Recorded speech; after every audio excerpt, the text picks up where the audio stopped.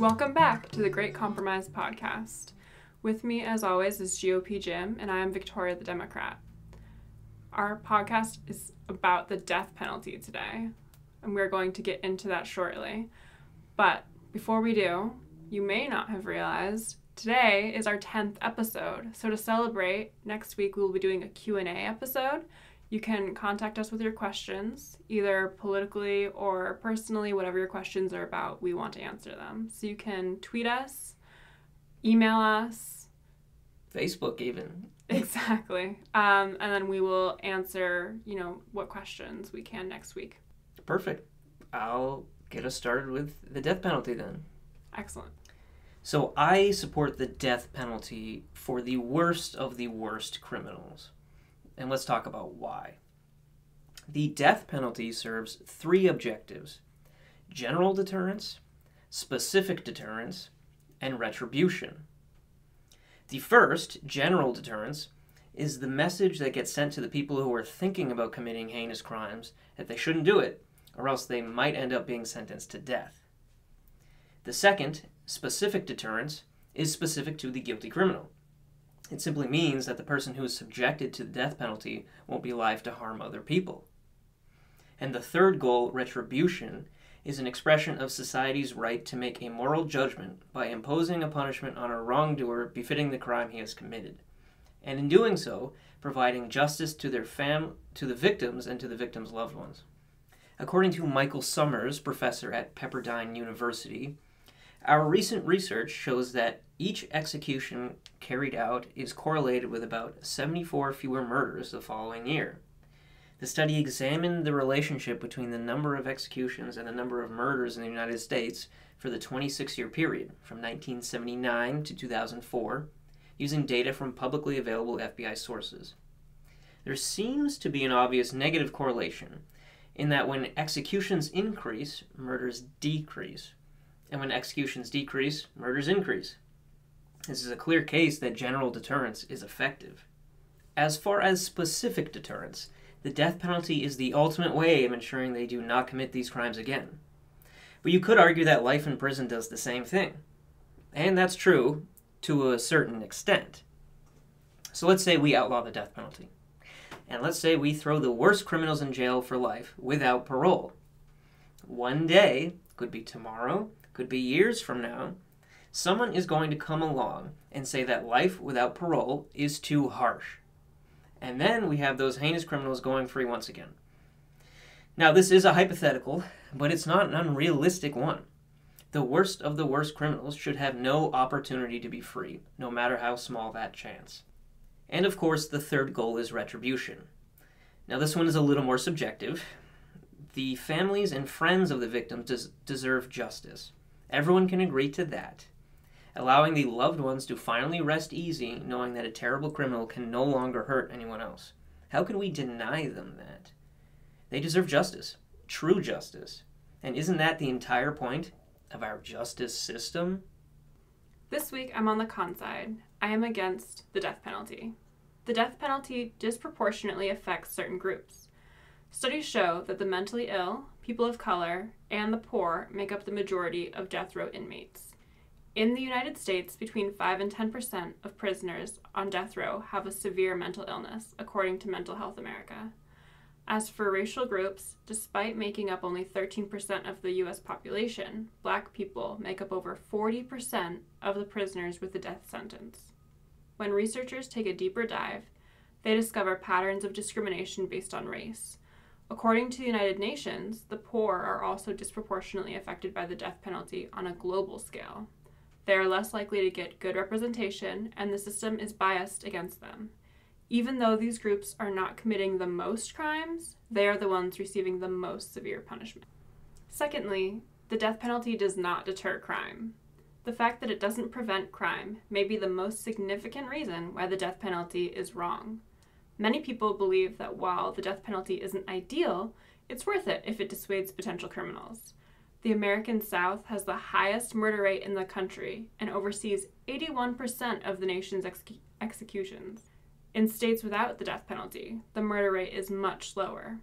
There are other factors at play, but the fact remains that no studies show capital punishment is a deterrent if the death penalty is not only inhumane, discriminatory, and arbitrary, but it often claims innocent lives and doesn't even prevent crime.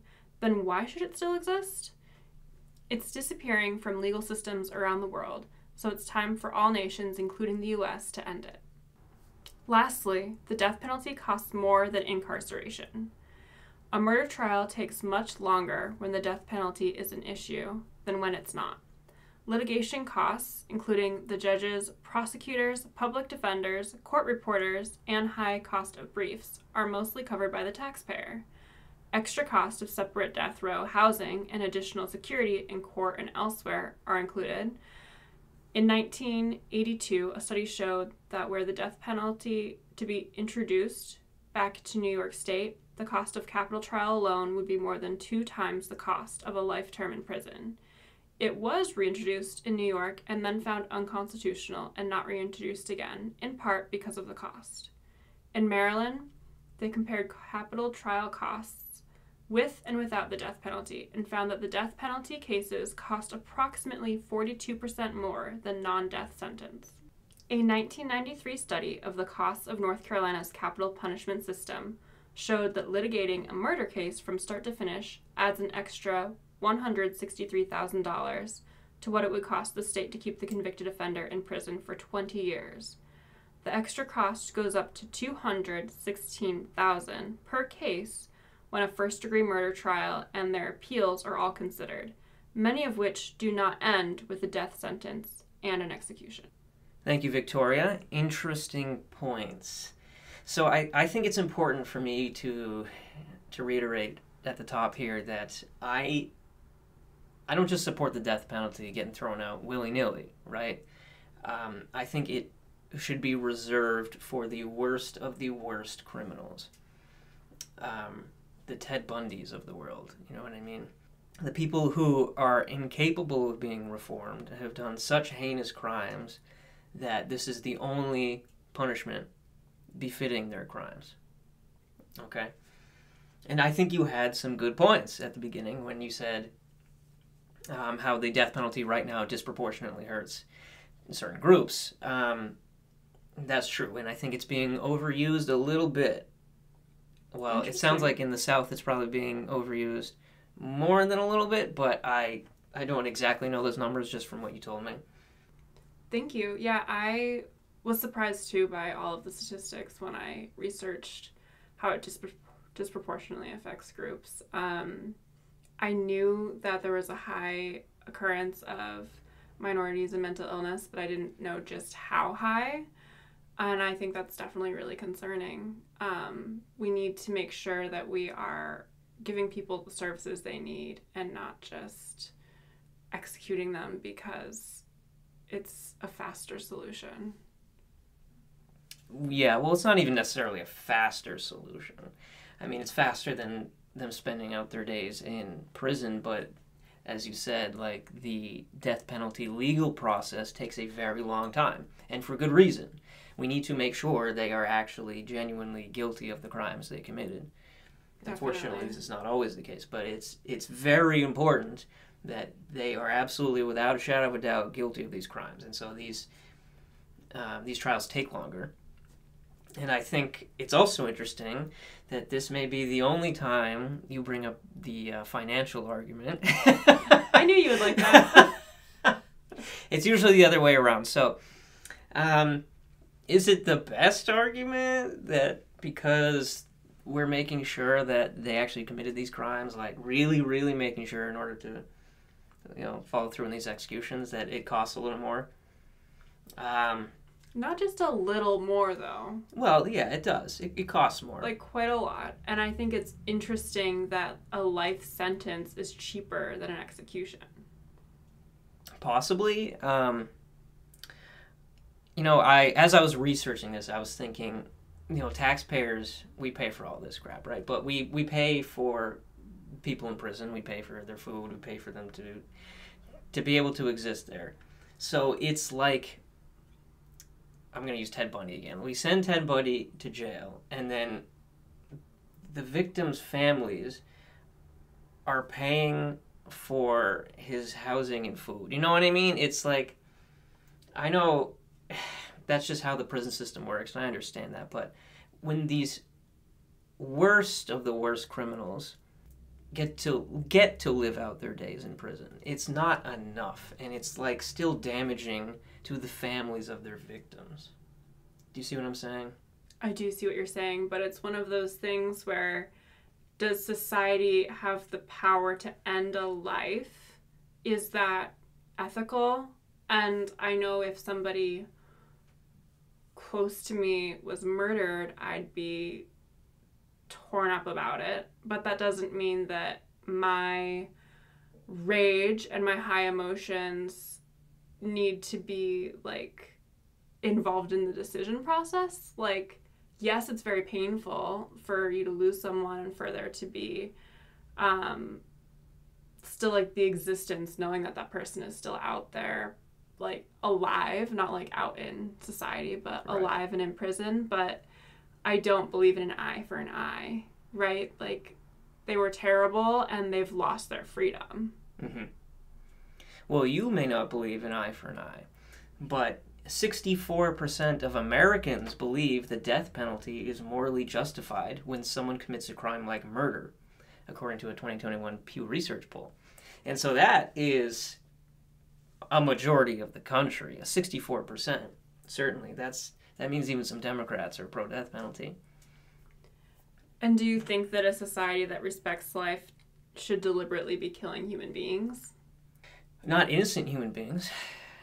Obviously this is why we have such a long drawn out legal process. And again this is not if you kill one person you know i don't even necessarily want to give you the death penalty either. It's the absolute worst serial killers or like serial rapists or just the the scum of the earth who cannot ever come back from these actions.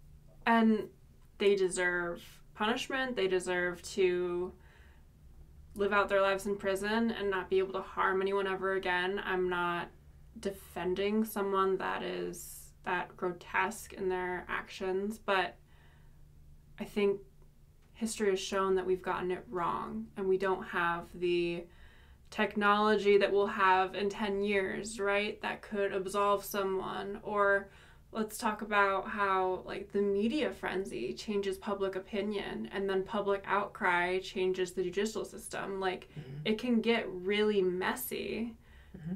and i think too many vulnerable populations get pulled into it where the impoverished the mentally ill the minorities are like just too i would say like picked on by by the system and I can't say what is perception and what is fact and I don't want to take that gamble with somebody's life. I I see what you're saying and that's why I want to keep it rare just for the worst of the worst. Um, to me it, it feels like you kill one person and you go to jail, right? And then each murder after that is a freebie because there is no worse punishment than going to jail for life. Whereas if we have the death penalty for these people, these repeat murderers, it's it's it's justice. You know, there's something more to punish them with than if they just killed one person. You know what I mean? Like we shouldn't have yeah. freebie kills without proper punishment, which is kind of how it is. Well, actually, no, the death penalty is legal right now, but it would kind of how it would be if we repealed the death penalty. Um, freebie kills. That's an interesting idea. I think that, like my, my argument stated, the death penalty is not dissuading people from crime, right? So yes, it is a higher form of punishment. It's literally life ending, but that's not dissuading people from murdering, right? Like. Well, I found that one study um, that said it was, and that was my first argument the general deterrence. Um, I don't know how relevant that is anymore. It started in 1979, ended in 2004, but um, I, I, did find that. You may have found newer data, I, I'm not sure. Yeah, I found that in the States, with the death penalty, crime is not lower than in states without it. General Especially, crime? Like first degree murder, crime, Okay. Are there less serial killers? I don't have that information. I I don't either. I, I'm I would be curious to see that information. yeah. Um, because really, that's again what I would use the death penalty for. Those are the people. If we can deter serial killers, great. I'd, I'd love that for us, but I don't I don't think the death penalty deters crime in general. I, I wouldn't say it does that. This might be a tangent, so feel free to redirect me. Okay. But do you think that serial killers are as much of an issue today as mass shootings? I hear way more about mass shootings than any serial killers. That's more like referring to the 80s when I hear about those like killers that have gone down in history. Apparently, at any given time in the United States, there's like 25 to 50 active serial killers. Not a great number, if I have to be honest. I'm really surprised to hear that. yeah, yeah. So, you know, deterring more or deterring them from continuing to kill, I'm all for that. If however we can do it. Do we know that we're deterring them? Um, well, I have a source that says yes, and you have a source that says no. So no, we don't know if we're deterring them. We don't know, and I think there's a certain amount of um, ego and like a superiority complex that goes into the mind of a serial killer, right? Like they are psychotic. They're not concerned about consequences. They think they're above being able to be caught, right? Like I think there's a bit of narcissism at play there. So I'm not sure the death penalty it is at all keeping them up at night. Do you consider being a psychopath a mental illness? I do. You do. Yeah. Okay. Is it curable?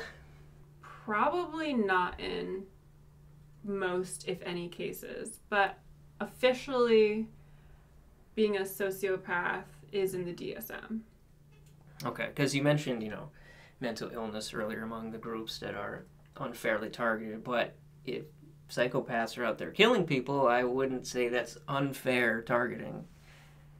Right. I would not lump them into a minority or, you know, someone that's treated unfairly. I think that being a serial killer, I'm not overwhelmed with empathy for anybody that's going to um, earn themselves that title. So, is there any situation where you would support the death penalty at all? Going back to Ted Bundy, Mhm. I don't like the idea of someone like that being around or I remember there were accounts of Ted Bundy escaping jail and it's Mhm. a disaster. I don't want any part of that in our society. But I also think we have to understand the ethics at play here and that just because one person is taking lives doesn't mean that we have the power to do that as a form of justice, right? Like death as a form of justice doesn't seem ethical to me at all. Okay. Again, I think there are some cases where that's the only ethical solution. That is the only justice we can give the victims' families. But again, I, I think it should be rare, Yes. and we're already, you know, somewhat moving towards that as a society. So I think everyone can probably agree that's a good idea. I can agree to that, that it should be rare if ever at all. Thank you for listening to this week's episode of the Great Compromise podcast. Just as a reminder, next week's episode is going to be a Q&A episode. So get your questions into us. You can tweet us, Facebook us, email us. Spotify should have a Q&A section this week. Whatever you want to do, get your questions in. We'll answer them and we will see you next week.